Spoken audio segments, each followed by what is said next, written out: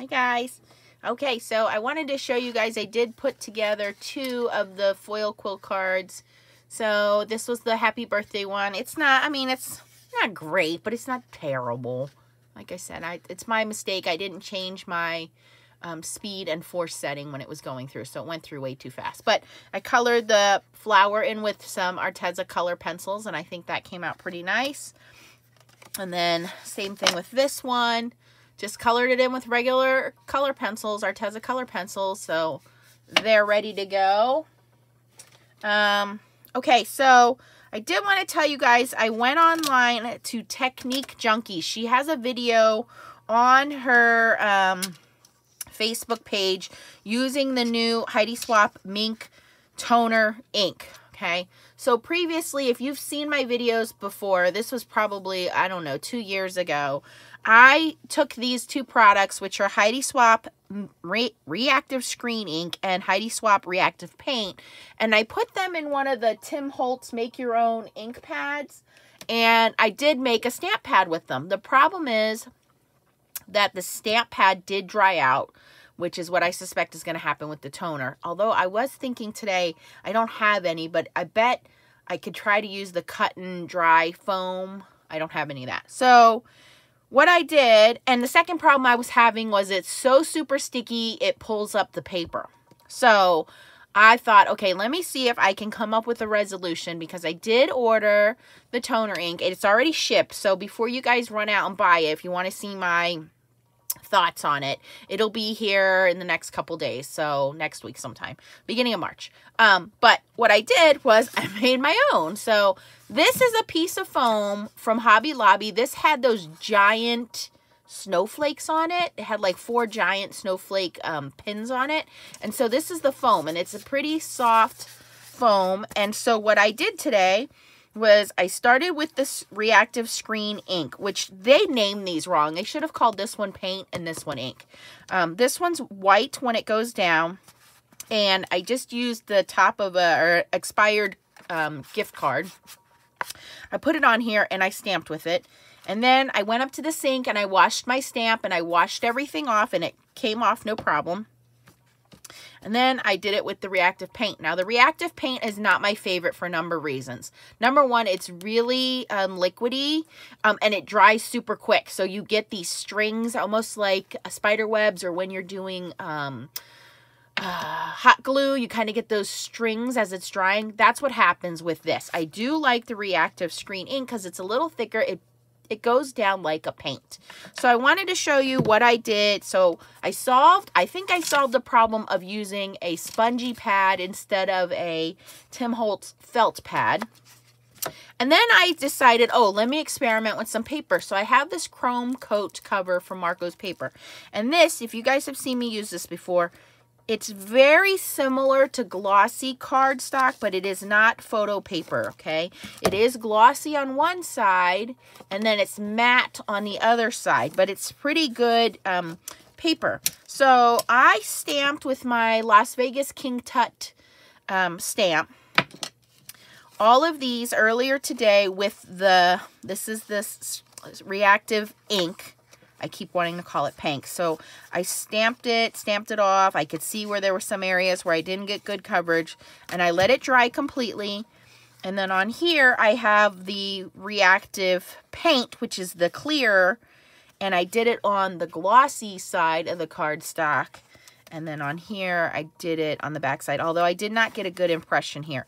But I'm really interested to see how this glossy card comes out, because to me, it looks like it's stamped pretty good. All right, so I have to make this pretty quick because I do have to pick Miss Lee up for dance.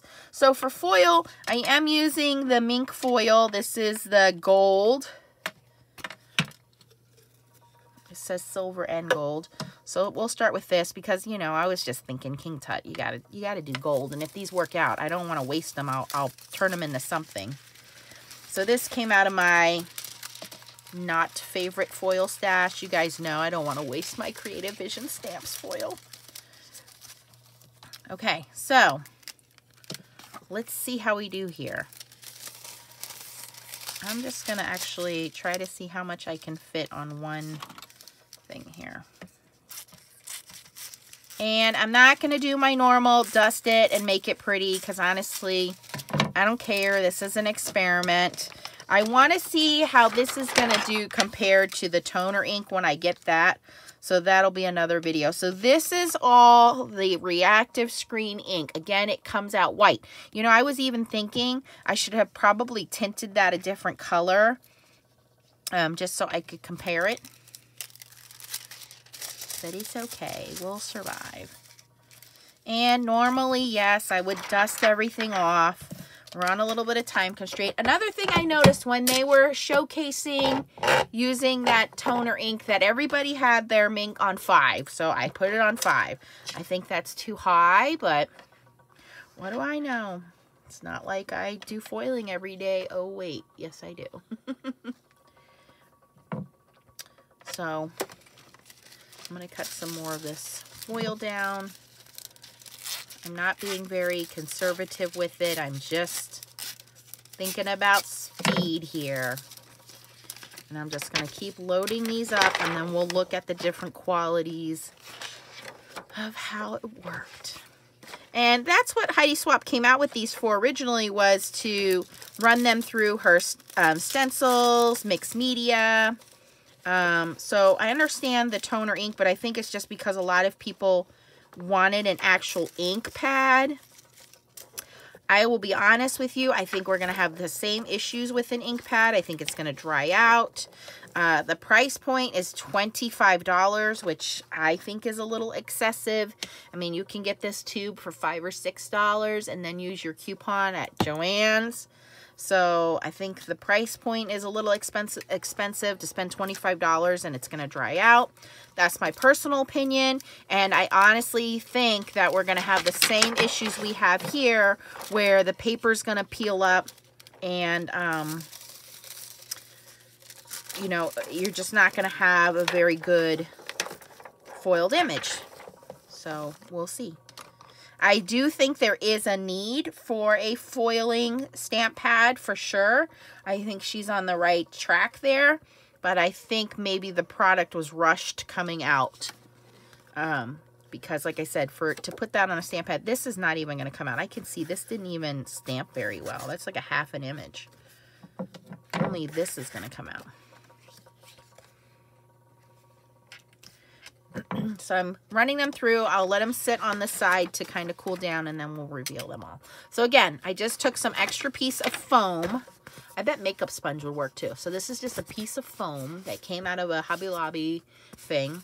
And I used an old gift card and I smeared some reactive paint and stamped with it. And I smeared some reactive ink and stamped with it. Whoa.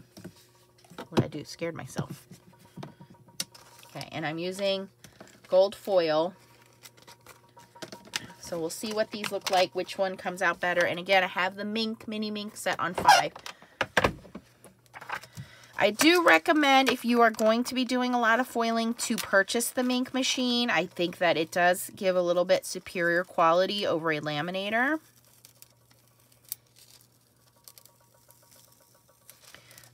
That's not too awful bad. I could totally use that. That's my fault for not dusting. That's not bad, actually. You know, I, I should have done black glossy cardstock. You guys will have to remind me when I do my experiments to try black glossy cardstock because I really think foil stands out when you're doing black cardstock. All right, see, this did not come out so well. Maybe that's why I didn't use that.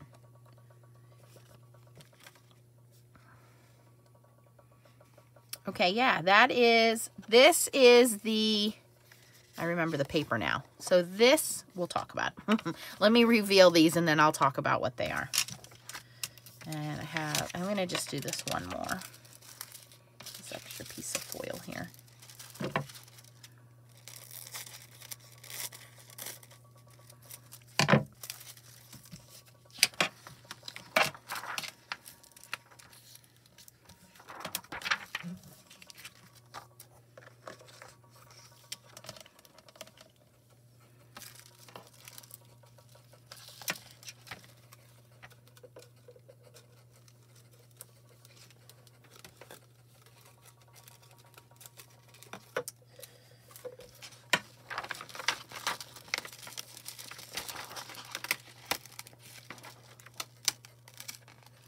Okay, so this is a perfect example of what was happening. So apparently I had stamped the back of this and didn't like it, so I flipped the paper over. Do you see how it's like a glue and it's pulling that paper off? Do you see that? That's what would happen with um, stamping it. So that's why I stopped doing it.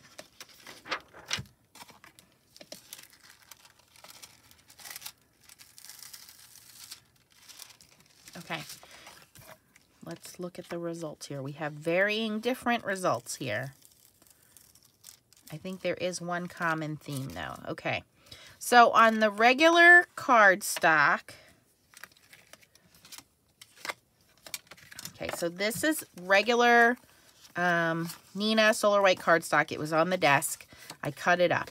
Okay, I know for a fact because I remember putting them down one, two, three, four, so I wouldn't touch them. And on these, I used the... Which one did I use now? I have to think about it. Oh, the Reactive Screen ink, which is like a paint. Okay, I don't know why they don't call it a paint because they called the other one a paint. So on this, it went down pretty thick and you can even see in the foiling where it's kind of globby. Oops, here we go. Camera, focus. So you can see the kind of, the little bit of globbiness there. Um, where I didn't get enough of the, the ink, you can see where it's kind of dried out here. Um, here's one, kind of the same problem. I didn't get enough at the top there. There's a little bit of texture, not a lot. This one has got all kinds of blank spots in the center there. So, I mean, they're all pretty random. Okay. So that was the reactive screen ink. That was the first one I tried to do. And then I went and I washed everything out. And I would say this is, if I were to grade this, I would say I give it a C. I mean, it works if you want it to work. Does it look great? Not really. Is it worth my time? Not really, because if it doesn't look good, I don't want to use it. So I would say this is a C. Okay. That's using the Reactive Screen ink, which is very thick. Okay. Now, for this one, this really surprised me.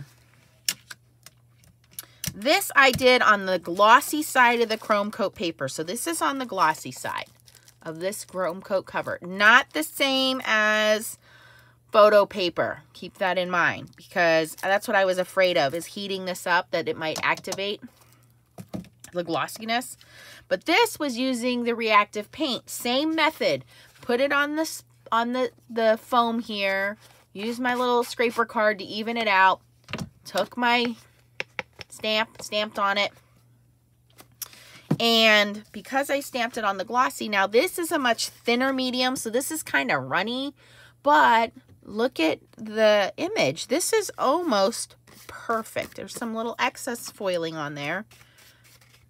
That's because of the Minc foil. But look at how almost perfect that is. This is definitely a B. This is a B. I mean, much better quality of stamping there. We don't really have any kind of blobs of ink. Everything looks pretty smooth. There's no thickness difference. I'm very impressed that that actually worked because I honestly did not think it was going to work. Here you can see the first two stampings. You can see where the lines are that that excess kind of filled in there. And here's the second stamping. So I stamped it once and stamped it twice. So you can see that that excess, you know, after a couple stampings did come out of the stamp. There's a little bit of texture to this one, but these still look better than the other one did. So all three of these are definitely usable on a card. This one came out really stinking good.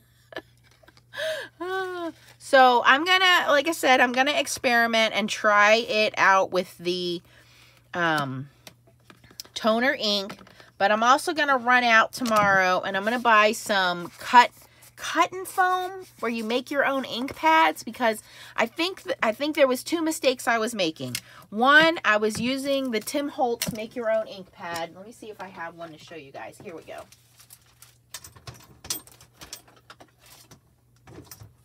Oh, nope. Well, it looks it looks like a distress ink pad. It looks like one of these, but it's it's a blank one. I thought I had some. But so I had filled that originally and it did not work. And the reason it didn't work was the ink pad. I think it was because of the felt top on there because it has a fabric felt top. Um, it just didn't it didn't work right with with adhering to the ink pad and to the stamp.